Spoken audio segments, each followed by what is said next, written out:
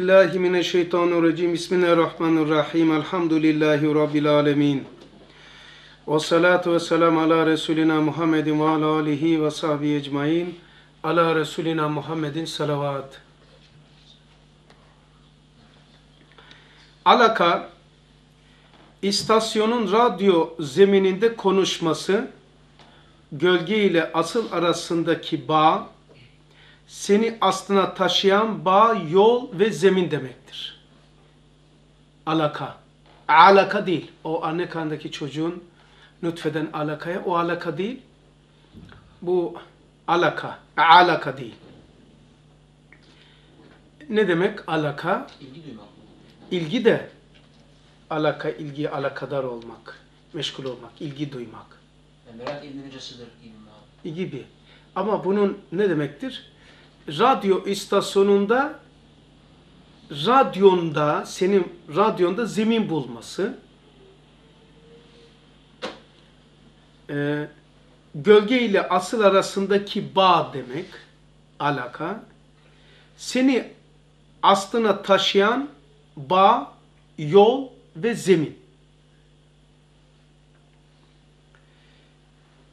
Senin şeytanın ve nefsin. Hazmedilmeyen her ilim enaniyete dönüşerek kendisini vehim, vesvese olarak ifade eder. Çünkü şeytan kendisine şeytan değil. Okunan, bilinen uhuvvet risalesi hazmolmun olmamışsa taassuba ve gayrine adavete döner.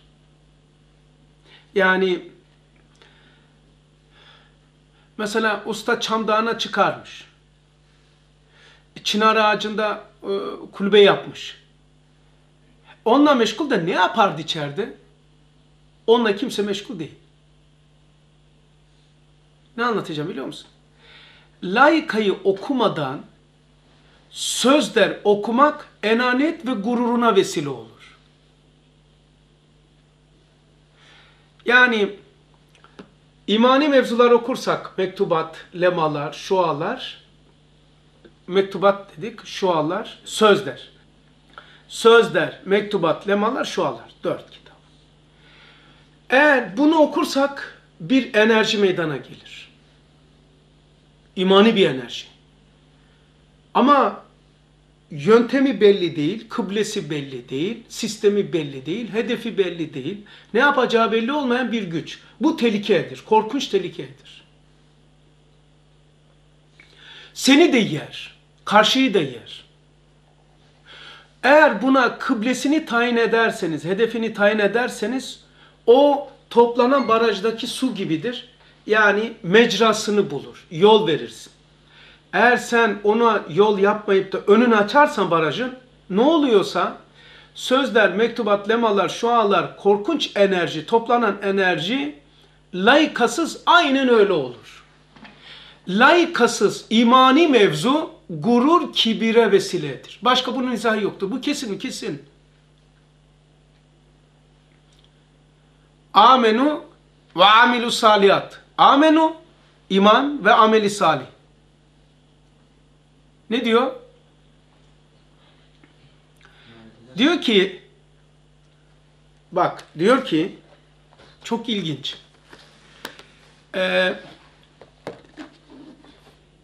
yerinden okuyayım. Bak Allah aşkına şuna bak.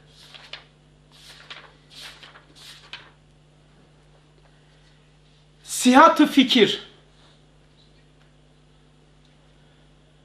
Fihat e, şey sihat-ı fikir, doğru fikir. Yani fikir var. Sihatlı olması. İstikameti nazar, selameti kalp istersen. Üç tane. Bak. Sihat-ı fikir, dimadan bahsediyor. İstikameti nazar, dimadan bahsediyor. Selameti kalp istersen, muhkemat-ı Kur'aniyenin mizanları ile bir, sünnet-i seniyenin terazileri ile iki, amal ve hatıratını tart, fiillerini ve düşüncelerini tart. Kur'an'ı ve sünnet-i seni daima rehber yap. Sünnet-i seni neydi? Ee, şey siper miydi? Ee, sizin siper. Takva Zırh. zırh. Sünnet-i seniye siper. Kur'an'ı ve sünnet-i seniye daima rehber yap ve e'uzu billahi mineşşeytanirracim de Cenab-ı Hakk'a ilticada bulun. Bak bir daha söylüyorum. Bu bunları bu okuduğumu toparlıyorum.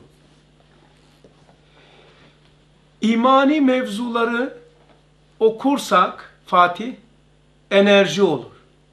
Bunu denemez biliyor musun? Bu çok korkunç bir mesuliyet iktiza eden bir cümledir. Bu denemez, denememeli. Çok iyi hata ve bunu kesin bilmen lazım. İmani mevzular okursa insanda otomatik olarak ruhunda enerjiye dönüşür. Bu enerji korkunç bir tehlikedir. Hem hayırdır hem tehlikedir. Korkunç bir hayır, unutmayın, korkunç bir rızkı barındırır. Rize, İstanbul, Sakarya, Kastamonu. Risk. Yani her her farz haramı da barındırır. Farzın terki haramdır.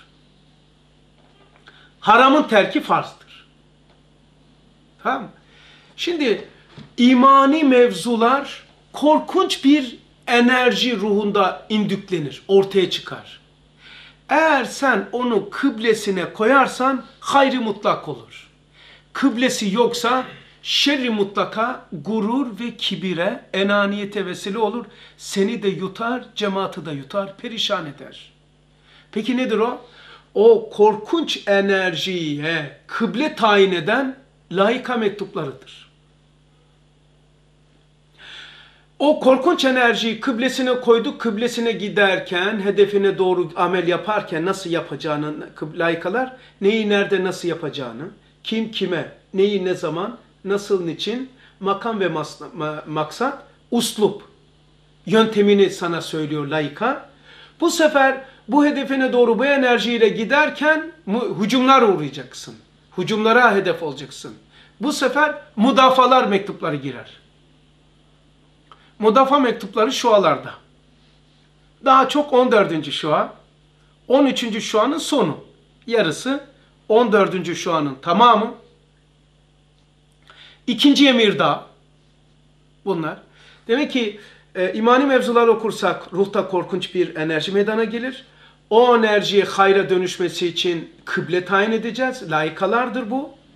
Bu kıblemize doğru hareket ederken harici dünyalardan e, ve iç, içsel alemimizden bir sürü hücumlar olacak. Bunlara karşı da Risale-i Nur külliyatının üçüncü vasfı olan mudafa mektupları devreye giriyor. Onun için eğer, eğer layıkasız olursa söz dersiz, şey, e, kastamonusuz, layıkasız sözler gurur, kibir, enaniyettir. Ne diyorsun ya? Ona vesile olur. Bilgi artıyor abi, davar ruhu yok. He? Bilgi artıyor ama davar ruhu yok. Davar ruhu yok. O zaman bu bilgi nereye harcayacaksın? Mesela Kur'an'ı biliyorsun. Kur'an'ı biliyorsun. Sureleri biliyorsun, namazın yok. Ne işe yaradı? Sözleri çok iyi biliyorsun, hizmeti şeklini bilmiyorsun. Evet. Ya ne dedi? Bunu kitap yüklü merkebe benzetiyor Kur'an. Burada da diyor ki hazmedilmeyen her ilim, bak hazmedilmeyen hazmeden layıkalardır. Sana ilmi hazmettiren layıkalardır. Onun için anlattım hazmedilmeyen her ilim enaniyete dönüşerek kendisini vehim ve vesvese olarak ifade eder dışarıda. Çünkü şeytan kendisine şeytan değil, okunan, bilinen uhuvvet risalesi hazm olmamışsa, yani uhuvvet risalesi kıblesiyle belirlenmemişse, taasuba ve gayrine adavete döner. Şöyle der, en büyük adavet dersi Uhuvvet Risalesi'nde olur. En büyük ihlassızlık dersi İhlas Risalesi'nde olur. Var ya bu insanlar burayı görmüyor görüyor musunuz ya neler yazıyor hala böyle yapıyor gibi ifadeler Uhuvvet Risalesi'nde oluyor. Gayrini eleştirmenin en güzel zemini Uhuvvet Risalesi'dir. İnsanları itham etmek, hizmetin dışında göstermenin en büyük zemini, en güzel zemin İhlas Risalesi'dir. Çünkü niye? Zıt zıttı barındırır.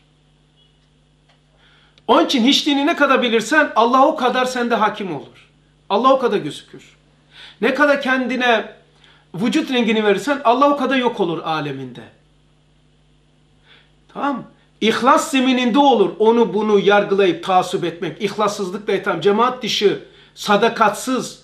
Bu insan var ya bu, bu insanlar denilen zemin, konuşmaya sebep olan zemin İhlas Risalesidir. Çünkü İhlas Risalesi lemalardadır. Lemalardadır, imani mevzulardandır. Ama layıkasız olduğundan dolayı gayrine adavet olur, taassup olur. Kendini merkeze koyar, bunun dışında hepsi yanlış olur der. İhlas Risalesi'nde insanlar ise nefrete döner. İhlas Risalesi'nde nefretler aşılanır. Uhvet Risalesi'nde adavetler ifade edilir. Enaniyet İhlas sohbetinde adavet ise uhuvvet dersini de işlenir. Ortaya çıkar. Demek hazmolmayan ilim verilmemelidir. Ustad diyor ya lematta hazm edilmeyen ilim alimi murşit koyun olmalı, kuş olmamalı. Zira koyun yavrusuna ne verir? Süt verir. Sütü, e, otu alır, süte dönüştürür. Kuş ise ağzından e, çiğner, gene ağzıyla kusar, kay olur. Yani vücudunun imbiklerinden, vücut sisteminden geçmez o gıda. Yani bedenden beslenmeyen bir gıdadır kuşun ağzındaki yem. Ot ise vücuttan geçiyor, imbiklerden geçer der muhakematta. Oralarda vasıflar yüklenir. Onun için Allah Resulü hiç alakası olmayan bir şey söyleyeyim. Büyük hayvanın sütünü Mecmuatul Adap'ta diyor. Küçük hayvanın etini mesela et diyeceksen koyun ve keçi küçük hayvan olmalı. Çünkü zira insan diyor 24. lemada insan beslendiği gıda ile mizacı müteessir olur. İnsanı etkileyen zaman, zemin, yaşı, yaşadığı zemin, taam, yediği, içtiği ve taam, şey libas, giydiğiyle mizacı müteessir olur. Yanlışlık.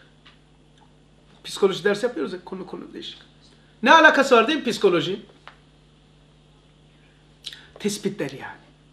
Yanlışlık doğruyu yapmanın manevra meydanıdır. Doğruyu yapmanın manevra meydanıdır. Doğrunun zeminidir. Yanlışlık ise doğru yapmamaktır ki ademidir.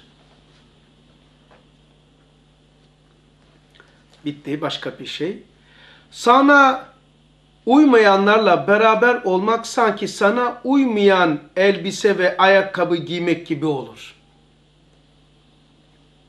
Herkes bir meşrepte olmaz. Meşrebinize meşrebinize uygun yerde olun. Unutmayın. Dini cemaatler dava değil, dava içinde burhandır.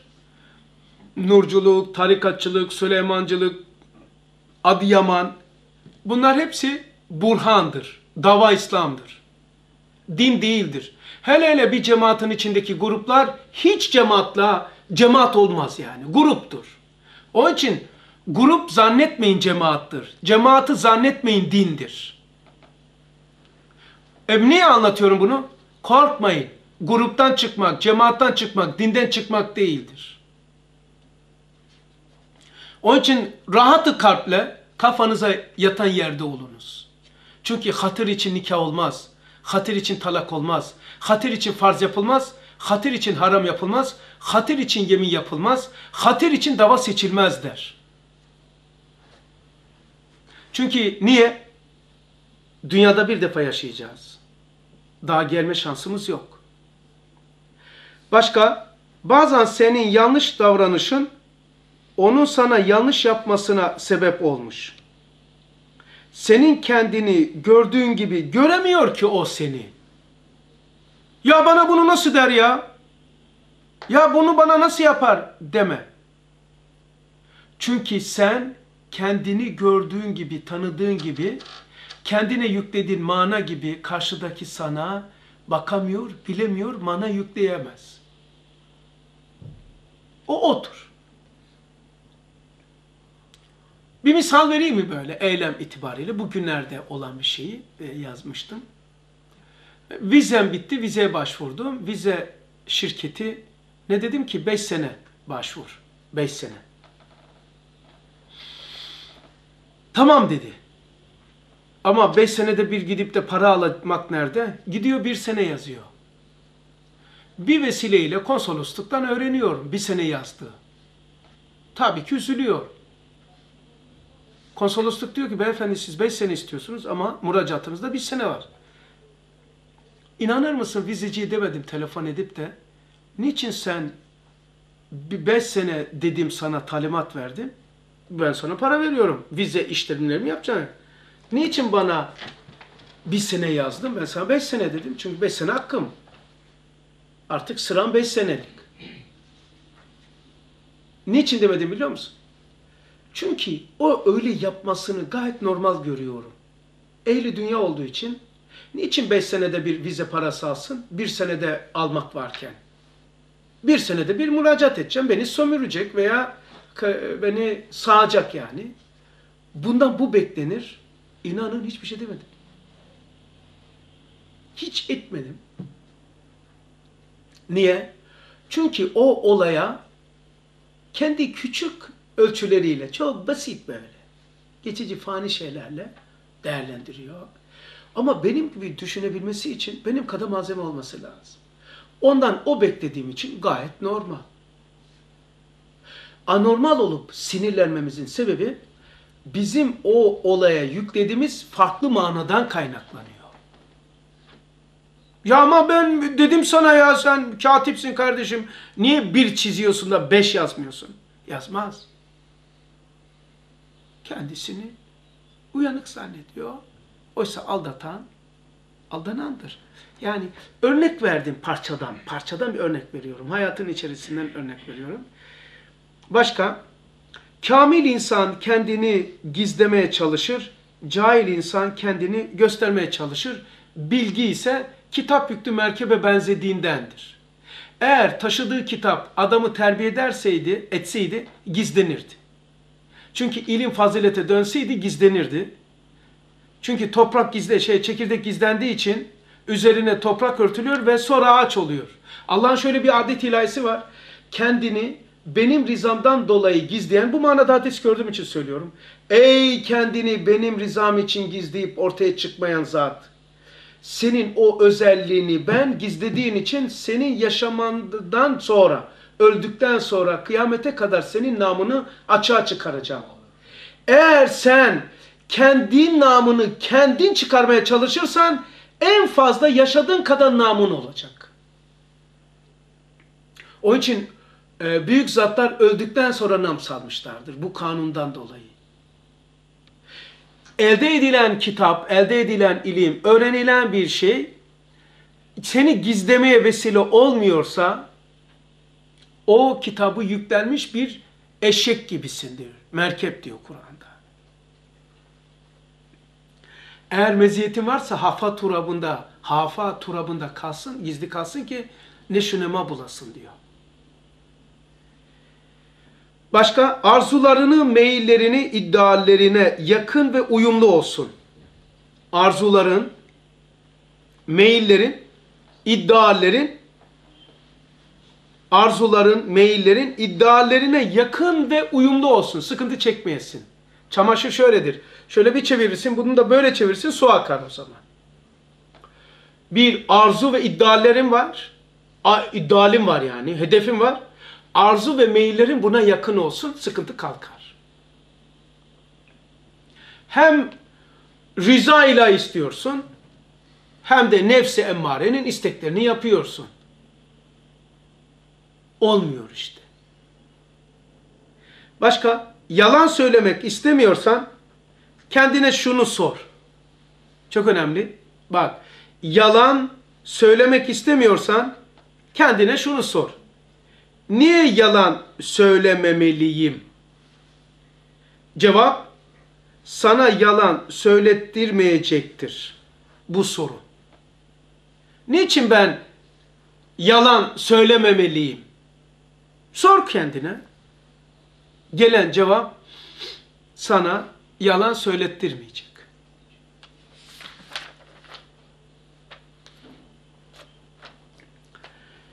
Kendini ben beğenmememden ileri gelen müthiş aşağılık duygusu hakim olur.